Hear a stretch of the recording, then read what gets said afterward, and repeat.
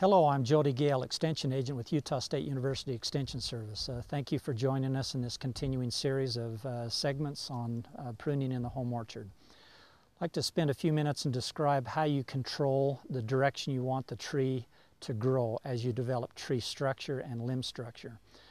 By selecting branches and selecting buds, you very literally have the opportunity to control the direction you want the limbs to go.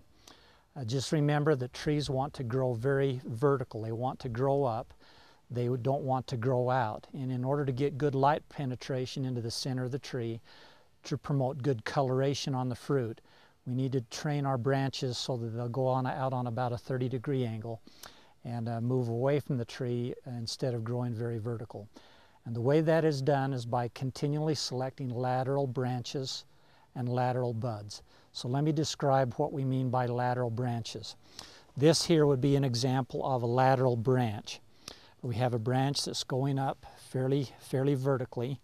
Uh, here we have a branch that's coming out uh, on, on a better angle. So this would become a lateral branch where this is kind of the center part. And by looking back in the to this limb behind, you can see where pruning cuts have been made the last several years. Uh, this particular place, this branch used to go in a very vertical manner. A pruning cut was made here, selecting this as a lateral branch, forcing the growth to come out away from the center leader on the trunk. Uh, year, year, the next year, this cut was made, continuing to direct the growth of that limb out.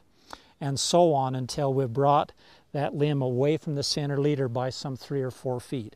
By continuing to select to lateral branches and lateral buds, you can promote that outward growth on the limb. By looking uh, closely at the buds uh, right here, selecting this particular bud is a way to cause the tree to grow out and up. The pruning cut was made here, choosing this bud.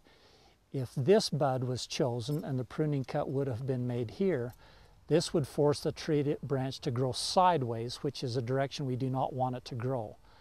Uh, if this bud on this side of the branch were to be selected and the cut would have been made at this point, this would have allowed the branch to go up and maybe back in towards the tree. So by very carefully looking on the underneath side of the limb, choosing a bud that's on the outer uh, reaches of the branch will uh, direct the growth to an outward direction, which is the desirable direction that the limbs should grow on apple trees, peach trees, and most fruit trees in the home orchard. Again, thank you for joining us for this segment of Pruning in the Home Orchard with Utah State University.